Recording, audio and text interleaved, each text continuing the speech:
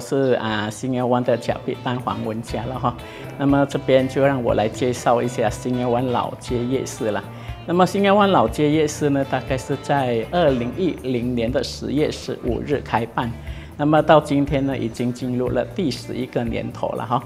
那么我们新安湾老街夜市呢，都是在每逢的周末啦，星期五至星期日，大概是下午四点到晚上十一点的时候就举办。那么，啊，到访的客户呢，相当的多了，多数是来自本地及来自外地的这些游客，也一一的到访我们新耀湾。那么这边售卖各式各类的这个食物了哈，包括我们的本土的糕点，然后比较有主的一些美食。那么啊，在最近几年，我们啊，经过我们的代议式的啊。申请呢，也提升了我们老街夜市的街坊，比如提升了这个我们的街道，充作这个步行街了哈。然后这边的夜市呢，我们大概有八十多个摊位啊。在疫情的冲刺之下呢，我们从这个啊，今年过后呢，我们要重新的来啊开发我们呃这个夜市了。然后啊。摊位方面呢，我们也是一一的会啊召集更多的新的小贩进入注入我们的这个啊夜市来售卖食品之类的。There's a few more plan that we we want to do in Siniawan. Within this year, we're going to build the Siniawan uh, tourist gallery.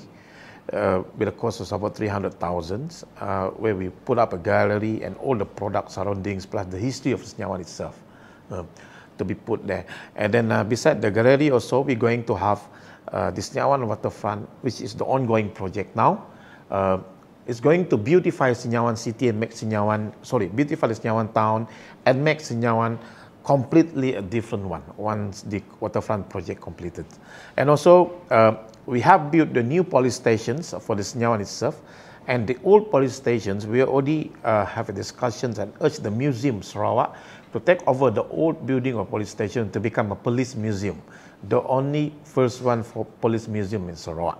So everything is in the pipeline uh, to create a product for tourists to see in Siniawan itself.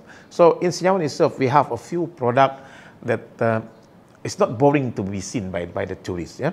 Even we have a plan, uh, once we completed the Siniawan waterfront, uh, we're going to have a plan to have a river cruise from uh, Kuching waterfront direct to Siawan waterfront.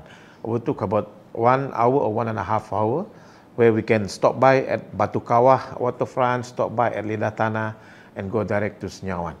Uh, it's, it's, quite a new product uh, been planned uh, by us and all the tourism sector who want to evolve. Uh, it's a new experience, but I hope with the good plan in the future, uh, I think by next year we should can do it already.